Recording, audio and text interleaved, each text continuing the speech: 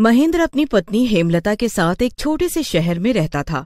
महेंद्र बहुत ही गरीब था और उसकी पत्नी हेमलता काफ़ी समय से बीमार चल रही थी। महेंद्र के अपने आठ बच्चे थे, जिसकी वजह से महेंद्र को घर चलाना बहुत ही भारी पड़ता था। वे दिन रात काम करके भी उतने पैसे नहीं कमा पाता था, जिससे कि वो अपने आठ बच्चों को भरपेट खाना खिला सके और अपनी बीमार पत्नी का ठीक से इलाज करा सके। एक रोज महेंद्र काम करके घर लौटता है तो देखता है कि उसके घर में उसके आठ बच्चों के साथ दो और बच्चियाँ खेल रही हैं। महेंद्र गुस्से से अपनी पत्नी से कहता है ये दो बच्चियाँ कहाँ से उठा लाई हो?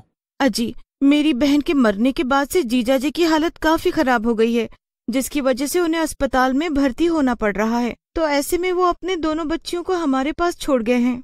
अरे हमारे खुद के आठ बच्चे कम थे जो अब इन दोनों को और पालो। मैं तो पहले ही आठ बच्चों का ठीक से पेट नहीं भर पा रहा हूँ। अब इन दोनों का पेट कैसे भर पाऊँगा? पहले ही पड़ोस के लोग और बाकी सब लोग मेरा मज़ाक उड़ाते हैं कि देखो आ गया आठ आठ बच्चों का बाप और अब तो सब मुझे दस बच्चों का बाप कहकर चढ़ाएँगे। अरे जरा अपनी हालत देखो।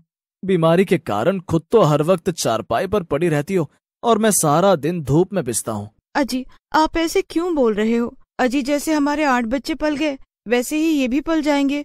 आप ऐसे गुस्सा न करो। इन बच्चों का पेट भरने के लिए दिन भर मेरी क्या हालत होती है ये बस मैं ही जानता हूँ। कभी कभी तो लगता है कि कहीं दूर भाग जाऊँ। अजी, आप ऐसे न बोलो और मुझसे एक वादा करो कि मेरे मरने के बाद आप हमेशा इन दस बच्चों का पूरा ख्याल रखोगे। महेंद्र हेमलता की एक नहीं सुनता और वहाँ से चला जाता है। उसके जाते ही हेमलता की बीमारी की वजह से मौत हो जाती है। हेमलता की मौत को कुछ दिन बीत जाने के बाद से घर के हालत और बिगड़ने लगते हैं। घर में खाने का सभी सामान खत्म होने लगा था। तभी महेंद्र की सबसे बड़ी बेटी रेशमा एक ढाबे पर बर्तन धोने का काम करने लगती है। तभी महेंद्र वहाँ से गुजर रहा होता है कि उसकी नज़र अपनी बेटी पर पड़ती है। रेशमा बेटी तुम इस ढाबे पर लोगों के झूठे बर्तन धो रही हो? और क्या करती पिताजी? घर में खाने को कुछ भी नहीं बचा है तो मैं अपने भाई बहनों को भूखा नहीं देख सकती। बस उनका पेट भरने के लिए मुझे ये काम करना पड़ रहा है। अपनी बेटी की बात सुन महेंद्र की आँखों में आँसू भर आते हैं। मैं अपनी ज़िम्मेदारी से बचकर भाग रहा था। जिसकी वजह से मेरी फूल सी बच्ची को ये काम करना पड़ गया। जब मेरी छोटी सी बच्ची घर की ज़िम्मेदारी संभाल सकती है तो फिर मैं कैसे पीछे रह सकता हूँ? बेटी, आज के बाद तुम्हें ये सब काम करने की ज़रूरत नहीं पड़ेगी। आज से मैं बहुत मेहनत मजदूरी करूँगा, पर कभी भी अपने बच्चों को भूखा नहीं सोने दूँगा। भले ही मैं मर भी क्यों ना जाऊँ, पर मैं अपनी ज़िम्मेदारी से कभी पीछे नहीं हटूँगा। फिर क्या था? महेंद्र अपने काम पर जाता है और खूब मेहनत करता है। पूरा दिन काम करने के बाद महेंद्र का मालिक जयदेव उसे काम करने के बस दो सौ रुपये ही देता है। मालिक ये तो आपने मुझे मेरे काम के बहुत कम पैसे दिए हैं। इतने पैसों में मैं अपने बच्चों का पेट कैसे भर पाऊँगा? अरे तो क्या मुझसे पूछकर दस बच्चे पैदा किए थे? और पैसे तो तुम्हें इतने ही मिलेंगे। अगर ज़्यादा पैसे चाहिए तो काम भी ज़्यादा ही करना होगा। दस बच्चों का पेट भरना है तो कल से टाइम पर काम पे आ जाना। महेंद्र को जयदेव पर बहुत गुस्सा आता है पर वो उसे कुछ बोले बिना ही वहाँ से चल देता है। और सड़क पर चलते चलते सोचने लगता है। इतने पैसों में दस बच्चों का पेट कैसे भर पाएगा? हे भगवान अब आप ही बताइए कि मैं क्या मुँह लेकर घर जाऊँ? मैं कितना बेबस और गैर जिम्मेदार बाप हूँ जो अपने बच्चों का ठीक से पालन भी नहीं कर पा रहा हूँ। महेंद्र ऐसे सोचता हुआ चला ही जा रहा होता है कि तभी सामने से तेज़ी से एक ट्रक आता है और महेंद्र को टक्कर मारकर वहाँ से निकल जाता है। ट्रक से टक्कर लगते ही महेंद्र की वहीं पर मौत हो जाती है और वो एक डरावना भूत बन जाता है। हे भगवान ये क्या कर दिया तूने? अब मैं अपने बच्चों का पेट कैसे भरूँगा? मैंने अपनी बेटी से वादा किया था कि मैं बाप होने की पूरी ज़िम्मेदारी निभाऊँगा। मैं कभी भी उन्हें भूखा सोने नहीं दूँगा। हाय रे अब मैं क्या करूँ? फिर भूत अपनी जेब से दो सौ का नोट निकालता है और बोलता है कुछ भी हो जाए मैं अपने बच्चों को भूखा नहीं सोने दूँगा। उसके लिए फिर चाहे मुझे कुछ भी क्यों ना करना पड़े। फिर भूत फिर से महेंद्र के रूप में बदल जाता है और उन दो सौ रुपये से खाने पीने का सामान लेकर अपने घर जाता है। पिताजी आप आ गए। मैं कब से आपका इंतज़ार कर रही थी? बेटी तुम बच्चों को खाना खिला देना और खुद भी खा लेना। मुझे भूख नहीं है इसलिए मुझे ऐसा बोलकर महेंद्र अपने सभी बच्चों के पास जाता है उन्हें प्यार करता है और उसके बाद चारपाई पर जाकर सो जाता है। अगली सुबह महेंद्र फिर से अपने काम पर जाता है। जहाँ जयदेव महेंद्र की लाल आँखों को देखकर बोलता है हुआ महेंद्र बेटा? लगता है तुम्हारे दस बच्चों ने रात भर तुमको सोने नहीं दिया। तभी तो आँखें एकदम लाल हो गई हैं। अब दस बच्चे पैदा करोगे तो ये सब तो झेलना ही पड़ेगा ही हा? एक तो बेचारी महेंद्र भाई की पत्नी नहीं रही फिर ऐसे में बेचारे महेंद्र को ही इतने सारे बच्चों का बोझ झेलना पड़ेगा। क्यों? महेंद्र को जयदेव की बात पर काफ़ी गुस्सा आता है और वो गुस्से से जयदेव का गला पकड़ लेता है और भारी आवाज़ में बोलता है जयदेव के बच्चे तूने मेरे बच्चों को बोझ कहा। अरे तू तो खुद इस धरती पर एक बोझ है। और अगर आज के बाद तूने मेरे दस बच्चों को लेकर मज़ाक उड़ाया ना तो मैं तेरा खून पी जाऊँगा। अरे महेंद्र ये क्या कर रहा है तू? तेरे अंदर कोई आत्मा वात्मा तो नहीं आ गई जो तू मेरा गला दबाना चाहता है? अरे अरे छोड़ मेरा गला। अगर मुझे जरा भी खरोच आई ना तो मैं तुझे अभी के अभी काम से बाहर निकाल दूँगा। महेंद्र जयदेव का गला छोड़ देता है और मन ही मन बोलता है इस जयदेव के बच्चे को अभी पता नहीं है कि मैं महेंद्र नहीं बल्कि महेंद्र का भूत हूँ। इसे तो मैं बाद में सबक सिखाऊँगा। फ़िलहाल तो मुझे काम पर लग जाना चाहिए। ऐसा बोलकर महेंद्र काम पर लग जाता है और अपनी भूतिया शक्ति से एक के बाद एक भारी भारी अनाज की बोरी अपनी कमर पर रखकर ट्रक में रखता जाता है। जयदेव अपने दोस्त गुलाब से कहता है इस महेंद्र में आखिर इतनी ताकत कहाँ से आ गई? अनाज की बोरी तो ये ऐसे उठाकर ट्रक में भर रहा है जैसे इनमें रुई भरी हो। लगता है महेंद्र भाई को अपने दस बच्चों वाला मज़ाक सहन नहीं हुआ। तभी तो देखो दस बच्चों के नाम से उसके अंदर कितनी ताकत आ गई है। ऐसे बोलकर वो दोनों महेंद्र का मज़ाक उड़ाने लगते हैं। कुछ देर में शाम हो जाती है और सभी मजदूर थककर जयदेव से अपने काम के पैसे लेकर घर जाने लगते हैं। पर महेंद्र एक के बाद एक काम किए जा रहा था। जब रात हुई तो महेंद्र भी जयदेव से अपने काम के पैसे मांगने उसके पास जाता है। जयदेव महेंद्र को पाँच सौ रुपये देता है। महेंद्र को जयदेव की बात से बहुत गुस्सा आता है और वो गुस्से में आकर भूत के रूप में बदल जाता है। भूत भूत अरे अरे मर गया अरे मर गया। ये, ये महेंद्र ये महेंद्र एक भूत कैसे बन गया? क्या हुआ जयदेव? अरे तेरे तो चेहरे का रंग ही बदल गया। अब बता कि तू मेरे काम के कितने पैसे देगा। अरे अरे भूत भाई मुझे जाने दो और आपको जितने पैसे चाहिए आप ले लो पर पर मेरी जान बख्श दो। तूने बहुत मज़ाक उड़ाया था ना मुझे दस बच्चों का बाप बोलकर मेरे बच्चों को चिल्लड़ पार्टी बोलकर अब देख मैं तेरा क्या हाल करता हूँ। फिर भूत जयदेव के सारे पैसे ले लेता है और उसके बाद उसे गला दबाकर मार डालता है। भूत फिर से महेंद्र के रूप में आकर अपने बच्चों के लिए अच्छा अच्छा खाना और उनके लिए कपड़े लेकर घर जाता है। सभी बच्चे अच्छा अच्छा खाना और कपड़े देकर बहुत खुश हो जाते हैं। फिर महेंद्र अपनी भूतिया शक्ति से ढेर सारा काम करता है और खूब पैसे कमाता है। फिर कुछ ही दिनों में महेंद्र एक बड़ा आदमी बन गया और उसने अपनी पत्नी के नाम पर एक फैक्ट्री भी खोल ली। एक रात महेंद्र अपने कमरे में अपनी पत्नी की तस्वीर के सामने अपने भूतिया रूप में आकर उससे बात करने लगता है। हेमलता, मैं जानता हूँ कि मैंने तुम्हें बहुत दुख दिए थे और हमेशा अपने दस बच्चों की ज़िम्मेदारी से दूर भागता था। पर आज देखो, मैं मरने के बाद भी तुमसे किया वादा निभा रहा हूँ। मैं अपने दस बच्चों को प्यार भी करता हूँ और उनकी पूरी देखभाल भी करता हूँ। पर मैं ये भी जानता हूँ कि मैं एक भूत हूँ और मैं ज़्यादा दिनों तक अपने बच्चों के पास नहीं रह सकता। तभी वहाँ रेशमा आ जाती है। रेशमा को देखकर महेंद्र का भूत काफ़ी सहम जाता है। पिताजी, आप एक भूत हैं। मैंने आपकी सारी बातें सुन ली हैं। आप हमें छोड़कर कहीं नहीं जाओगे ना पिताजी? मेरी बेटी, तुम बहुत समझदार हो, पर अब जब तुम्हें सब कुछ पता चल गया है तो मुझे यहाँ से जाना ही होगा। पर मैं जानता हूँ कि मेरे जाने के बाद मेरी बेटी अपने भाई बहनों का खूब अच्छे से ख्याल रखेगी, पर मैं तुमसे वादा करता हूँ मेरी बच्ची कि ज़िंदगी में कभी भी तुम्हें मेरी ज़रूरत पड़े तो बस मुझे याद कर लेना। मैं तुम्हारे पास होऊँगा। मैं अपने दस बच्चों का ख्याल हमेशा रखूँगा। ऐसे बोलकर महेंद्र वहाँ से गायब हो जाता है। रेशमा उम्र में बड़ी थी और काफ़ी समझदार भी थी, इसीलिए वो अपने भाई बहनों का ध्यान अच्छे से रखती थी। और जब भी रेशमा को अपने पिता की याद आती या महेंद्र को अपने बच्चों की याद आती, वो उनसे मिलने आ जाया करता। रमेश सुबह सुबह उठकर काम पर जाने के लिए तैयार हो रहा होता है कि तभी रमेश की बेटी नेहा अपने पिता रमेश से कहती है, अरे पिताजी, आज आप काम पर जाने के लिए फिर से तैयार हो गए। आपको पता है ना कि कुछ दिनों से आपकी तबीयत ठीक नहीं है और डॉक्टर साहब ने आपको आराम करने को कहा है, पर आप होगी किसी की सुनते ही नहीं। अगर आपको कुछ हो गया तो मेरा क्या होगा? अरे मेरी बिटिया रानी, मैं बिल्कुल ठीक हूँ। बस थोड़ी सी कमज़ोरी है।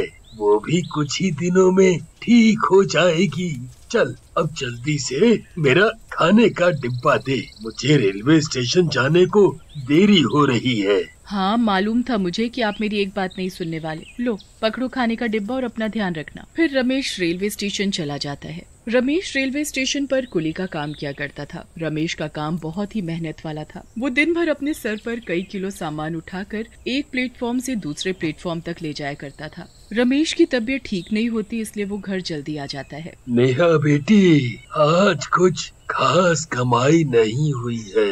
तबीयत भी कुछ ठीक नहीं लग रही। आ, अभी आराम करता हूँ। कल सुबह जल्दी काम पर चला जाऊँ। नेहा रमेश का सिर छूकर देखती है और बोलती है हे भगवान पिताजी आपका सिर तो इतना गर्म है जितनी की चाय गर्म होती है। इतना तेज बुखार है आपको और आप हो कि सुबह जल्दी काम पर जाने की बात कर रहे हो। जब तक आप ठीक नहीं हो जाते आप कहीं नहीं जाओगे बस। रमेश नेहा की बात नहीं सुनता और सुबह जल्दी उठकर अपने कुली के कपड़े पहनकर तैयार हो जाता है और काम पर चला जाता है। रमेश को बहुत कमज़ोरी महसूस होती है, लेकिन वो फिर भी सामान सिर पर रखकर ले जाने लगता है कि तभी रमेश चक्कर खाकर ज़मीन पर गिर पड़ता है और उसके सिर पर बहुत चोट आती है। जिसकी वजह से रमेश की उसी समय मौत हो जाती है। ये बात नेहा को पता चलती है तो नेहा रोते हुए बोलती है, हे भगवान, ये क्या हो गया? एक पिताजी के अलावा मेरा है ही कौन इस दुनिया में? जो उन्हें भी आपने अपने पास बुला लिया। रमेश को गुजरे हुए कुछ दिन बीत जाते हैं। नेहा के पास घर में खाने के लिए अब कुछ भी नहीं बचा था। नेहा रोते रोते बोलती है, पिताजी ज़िंदा थे तो कभी मुझे भूखा नहीं सोने देते थे और रोज मेरे लिए कुछ न कुछ खाने को लाया करते थे। नेहा अपने आँसू पोछती है और बोलती है, ऐसे रोने से कुछ नहीं होगा। दो दिनों से मैंने कुछ भी नहीं खाया है। अब मुझे भी कुछ न कुछ करना ही होगा। नेहा अपने पिताजी के कुली के कपड़े पहनती है और बोलती है, मैं भी अपने पिताजी की तरह खूब मेहनत करूँगी। ऐसे बोलकर नेहा रेलवे स्टेशन पर काम के लिए जाती है। नेहा बहुत ही सुंदर थी, इसलिए हर कोई नेहा को अपना सामान ले जाने के लिए बोलने लगता है। पास ही में खड़े तीन कुली दोस्त, कालू, मोहन और टिंकू, नेहा को अपनी बड़ी बड़ी आँखों से घूर रहे होते हैं। अरे मोहन, ये तो अपने रमेश काका की बेटी नेहा है ना, जो कुली बनकर सबका सामान ले जा रही है। तनिक देखो तो इसे, कितनी खूबसूरत है। सच भैया, ये तो बहुत ही गजब की है रे। अरे, छिछो, सुंदर लड़की देखते ही बौखला गए। जरा ये भी तो देखो कि वो हमारे इलाके में आकर हमारा काम चौपट कर रही है। सबको देखो तो ऐसे सुंदर लड़की को देखकर उसी के पास जा रहे हैं और उसी से अपना सामान उठवा रहे हैं। अरे और तो और जरा सा सामान उठाने के उसे हमसे भी ज़्यादा पैसे मिल रहे हैं पैसे। फिर तीनों दोस्त नेहा के पास जाते हैं। कालू नेहा से बोलता है अरे तुम तो वही रमेश काका की बेटी हो ना जिनकी कुछ दिन पहले ही मृत्यु हुई थी। बहुत ही अच्छे व्यक्ति थे रमेश काका। इसीलिए तो उनकी बेटी भी बहुत ही अच्छी और सुंदर है। कालू नेहा से बात करते करते उसका हाथ पकड़ लेता है और हँसते हुए बोलता है सच में भगवान ने बहुत ही फुर्सत से बनाया है तुम्हें हाँ। अरे हाथ छोड़ मेरा तेरी खड़े होकर चार बातें क्या सुन ली मैंने तूने तो मेरा हाथ ही पकड़ लिया। चल अब जा यहाँ से और दोबारा मेरे आसपास भी मत भटकियो। अच्छा हमारे ही एरिया में आकर हमें ही धोस दिखाती है। ए सुन लड़की यहाँ से दूसरे प्लेटफॉर्म पर चली जा। हाँ। क्यों जाऊँ यहाँ से? आए बड़े मुझे इस प्लेटफॉर्म से भगाने वाले। हम्म, अरे भैया इस सुंदरी ने तो तुम्हें ही फटकार लगा दी। अरे देखना कल ये लड़की। अरे क्या नाम है इसका? हाँ नेहा यहाँ नज़र ही नहीं आएगी। रात को नेहा अपने घर वापस आती है और अपने पास ढेर सारे पैसे देखकर बहुत खुश होती है और बोलती है, आज तो मेरी बहुत अच्छी कमाई हुई है। आज मैं दो दिनों के बाद पेट भर कर खाना खाऊँगी। फिर अगले दिन नेहा जल्दी उठकर अपने कुली के कपड़े पहनकर खुशी खुशी स्टेशन पर स्टेशन पर नेहा को सामान उठाते देख तीनों दोस्तों को बहुत ही गुस्सा आता है और वो जैसे ही नेहा को अकेला पाते हैं, उसे छेड़ने लगते हैं। अरे मेरी रानी, काहे इतना भाव खाती हो? जरा तनिक हम तीनों की तरफ़ भी थोड़ा ध्यान दे लो। हे भगवान, तुम तीनों ने तो हद ही कर दी। तुम तीनों जाते हो यहाँ से या मैं शोर मचाकर लोगों को इकट्ठा करूँ? तभी टिंकू नेहा का ज़ोर से हाथ पकड़ लेता है। नेहा उन तीनों की इस हरकत से बहुत डर जाती है और अपना हाथ छुड़ाकर वहाँ से भागने लगती है और भागते हुए रेल की पटरी पर जा गिरती है कि तभी वहाँ ट्रेन आ जाती है। और नेहा की ट्रेन के नीचे आने की वजह से मौत हो जाती है। नेहा की मौत हो जाने से वो एक चुड़ैल बन जाती है। इन तीनों को तो मैं छोड़ूँगी नहीं। जैसे मैं मरी हूँ, वैसे ही ये तीनों भी मरेंगे। अगले दिन चुड़ैल एक सुंदर लड़की का रूप लेकर कुली के कपड़ों में रेलवे स्टेशन पर जाती है। अरे साहब लाइए ये बैग मुझे दीजिए। मैं ले जाती हूँ और मैं ज़्यादा पैसे भी नहीं लूँगी। अरे भाई टिंकू अब ये इतनी सुंदर कुली कहाँ से आ गई? अरे चलो भैया जरा चलकर इससे भी मज़े लेते हैं हाँ? सुंदर लड़की को देखकर वे तीनों दोस्त उसके पास जाते हैं और उसे भी छेड़ने लगते हैं। अरे, ओ सुंदरी, जरा अपना नाम तो बता दो। अरे, नाम के साथ साथ अपना पता भी बता दो। फिर हम वहीं मिलने आ जाया करेंगे तुमसे। कालू सुंदर लड़की का हाथ पकड़ लेता है और हँसते हुए बोलता है। अरे मेरी सुंदरी चलो चलकर तुम्हें बढ़िया सी चाय पिला कर लाए। अरे कमभगत छोड़ मेरा हाथ। अरे कमीने हाथ छोड़ता है कि नहीं? रुक ऐसे नहीं मानेगा तू। अभी शोर मचाकर सबको बुलाती हूँ और तेरी पिटाई लगवाती हूँ। अरे अरे अरे आप शोर क्यों बचाती हो? हम है ना? हम छुड़ाते हैं आपका हाथ। अरे ओ कालू छोड़ दे रहे इनका हाथ। नहीं तो खाम खा ये कुली मैडम जी शोर मचा देंगी। फिर चुड़ैल सुंदर लड़की के रूप में बोलती है आज तो तुम्हें छोड़ देती हूँ पर ऐसी गलती फिर दोबारा मत करना नहीं तो अच्छा नहीं होगा तुम तीनों के लिए ये याद रखना। अरे भैया काहे जाने दिया इस कुली सुंदरी को? और जरा इसके तेवर तो देखो हैं? अरे जाने देना आखिर कब तक बचेगी हमसे? ऐसा बोलकर तीनों ज़ोर ज़ोर से हंसने लगते हैं। फिर चुड़ैल वहाँ से चली जाती है और कुली बनकर सबका सामान अपने सिर पर उठाकर ले जाती है। कुछ ही देर में रात हो जाती है और रेलवे स्टेशन पर भी सन्नाटा छाने लगता है। तभी तीनों दोस्त सुंदर लड़की के पास आते हैं और बोलते हैं, क्यों री कुली? कहाँ जा रही है? हम्म? दिन में तो बढ़िया कर दिखा रही थी। ले, फिर से मैंने तेरा हाथ पकड़ लिया। अब मचा कर दिखा शोर क्या? तुम तीनों ऐसे नहीं मानोगे। तुम्हें तो सबक सिखाना ही पड़ेगा। ऐसे बोलकर चुड़ैल कालू का गला पकड़ लेती है और ज़ोर ज़ोर से हंसने लगती है। अरे अरे अरे मर गया रे।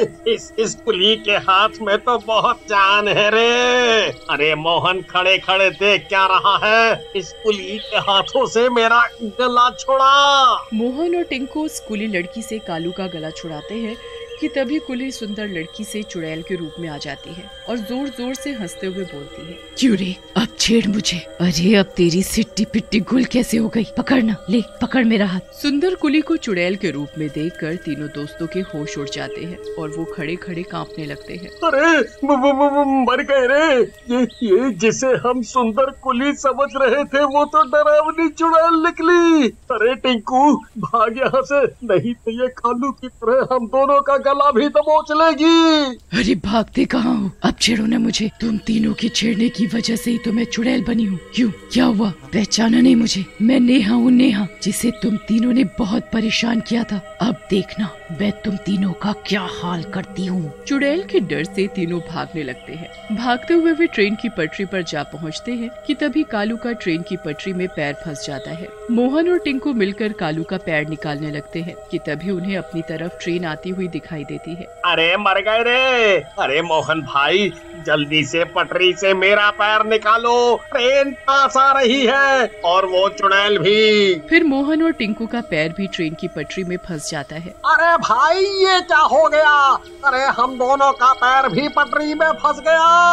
अरे ये कैसे हो गया? ज़रूर ये सब उस चुड़ैल ने किया होगा। चुड़ैल ज़ोर ज़ोर से हंसने लगती है। हाँ ये सब मैंने किया है। अब देखना तुम तीनों भी वैसे ही मरोगे जैसे मैं मरी थी। हमें माफ़ कर दो चुड़ैल जी। हमसे बहुत बड़ी गलती हो गई। आज के बाद फिर कभी किसी लड़की को नहीं छेड़ेंगे।